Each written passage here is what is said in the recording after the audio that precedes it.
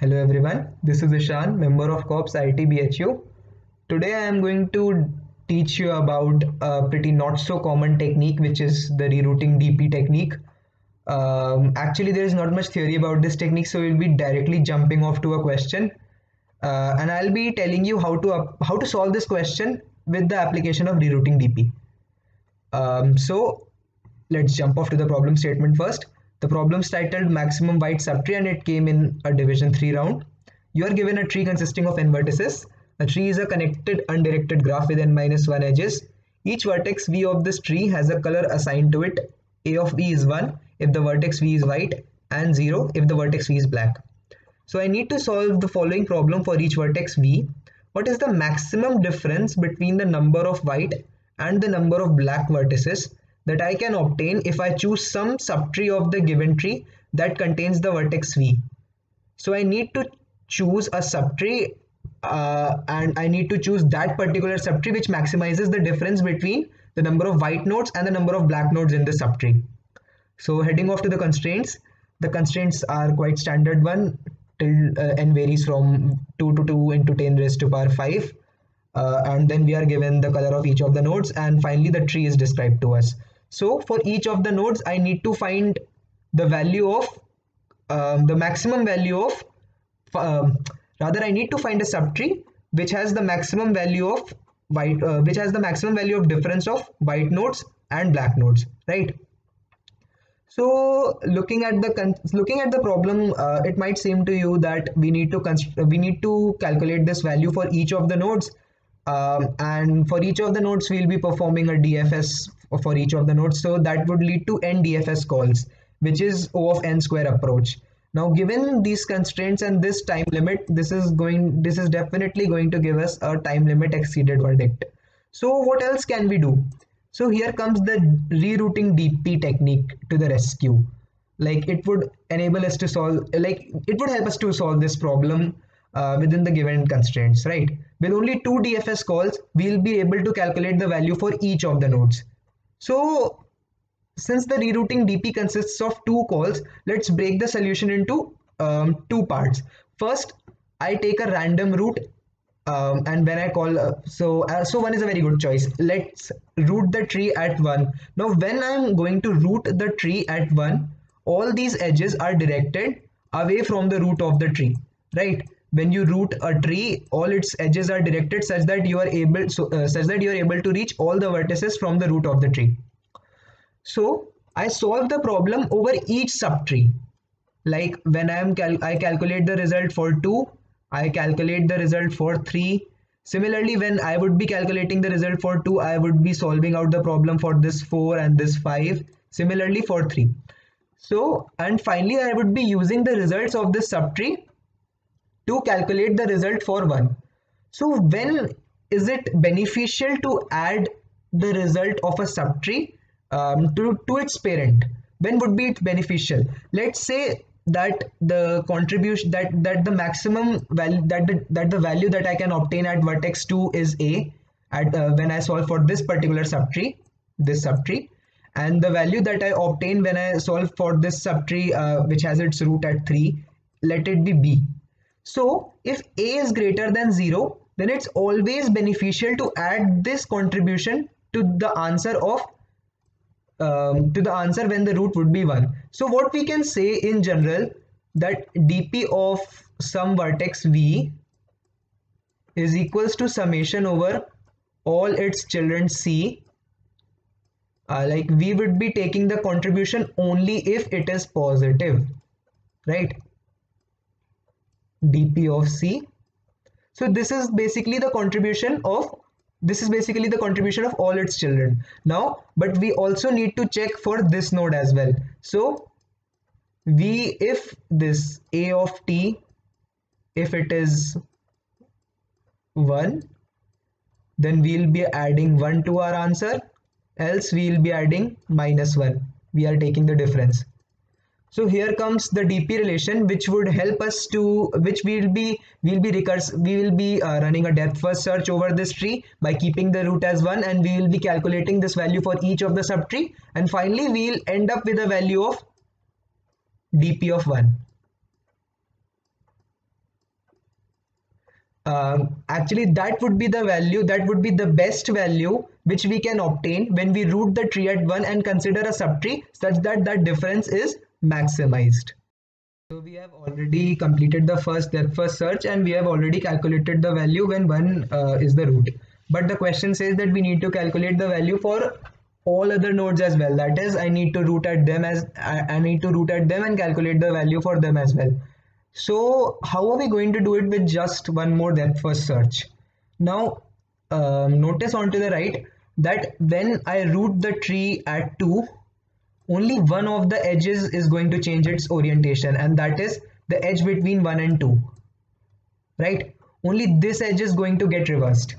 So you can see that all other like all other subtrees like see this subtree here and this subtree over here they are exactly the same that is these values are not going to change when I am going to reverse this particular edge only two of the values that I initially calculated dp of 2 and dp of 1 are going to change. Why? Because now 1 uh, now 2 is no longer a child of 1 rather it has become a parent of 1 that is uh, since the edge direction has reversed the, their roles have already been reversed have uh, their roles are already reversed as well. So what i can say that first i am going to remove the contribution of 2 from 1 as 2 is no longer a child of 1 all right and also i am going to add the contribution of 1 to 2 since 2 since 1 has become a child of 2 now. So these are the two changes that are going to happen when I reverse this edge. Alright so for each of the for each of the edges only when we when I reverse them only two of the changes are going only two changes are going to happen right um, so let's see the case when I'll be rooting the tree at 4 so now when we are going to root the tree at 4, two of the edges uh, will actually be in different orientations. One is this particular edge and the other is this particular edge. They are not going to stay the same as they were initial in this part of the tree. So now um, this 2 which was initially a parent of 4 has now become a child of 4 right so we can use, we will definitely be using this new value of 2 because now 1 is the child of 2 and 2 is the child of 4. So this new value of dp of 2 which we had just calculated to calculate the value of dp of 4. So one thing that you might notice from here is to, in order to calculate the value for each of the children of 2 for each of the descendants of 2 I need to call depth first search again. Because I need to use a new value. I need to use the upgrade uh, the updated value of 2 to calculate the results when 4 and 5 when 4 and 5 would be rooted right? And once we are through the once we are through visiting all the descendants of 2 we need to revert back all of the changes so that um, we restore the values that we had initially calculated right we need to restore back all the values that we had initially calculated.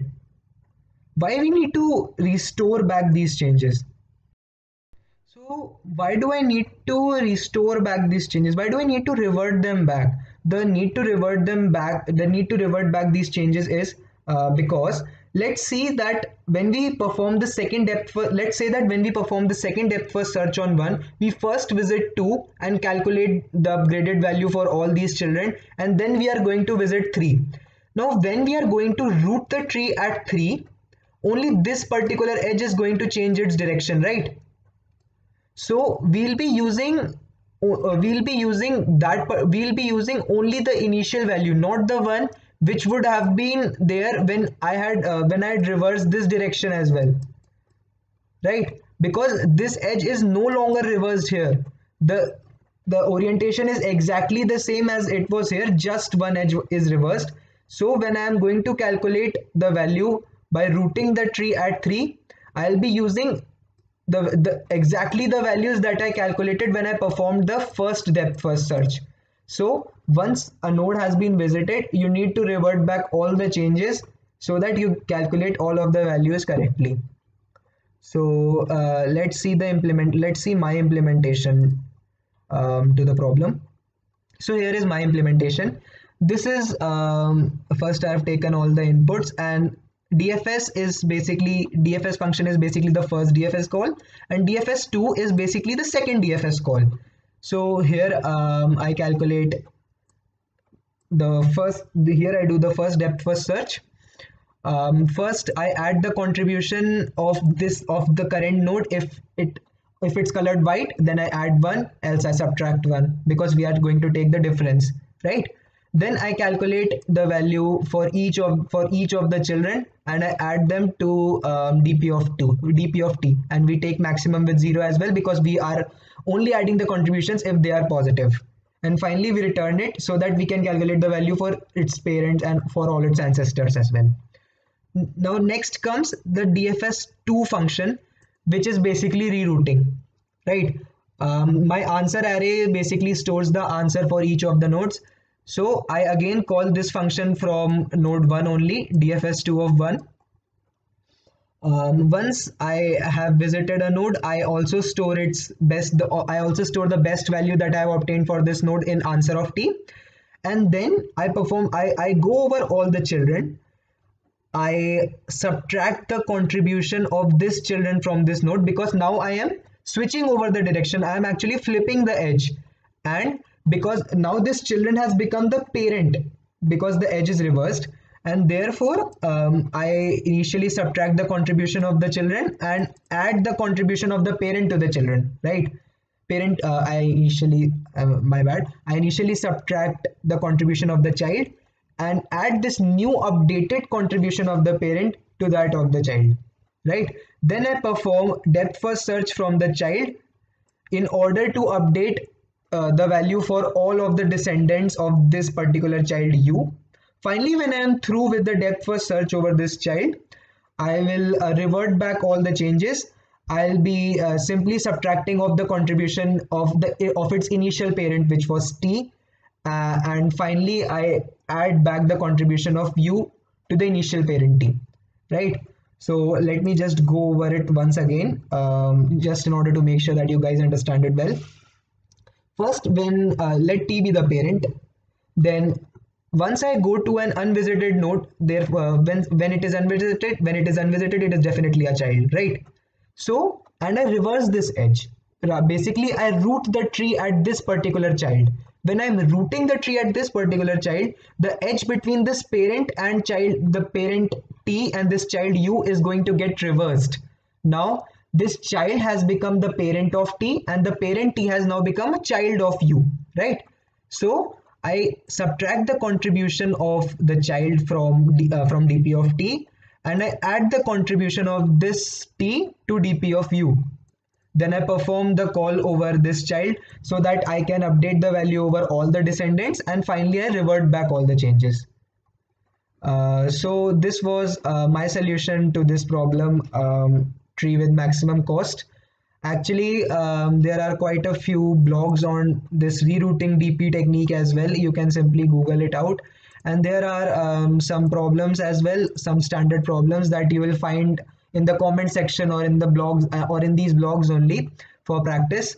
Um, so uh, tell me how you um, what you think about this technique? Uh, do you like it? Or if you have any problems understanding my solution or any problems understanding this technique uh, do leave uh, a comment in the comment section.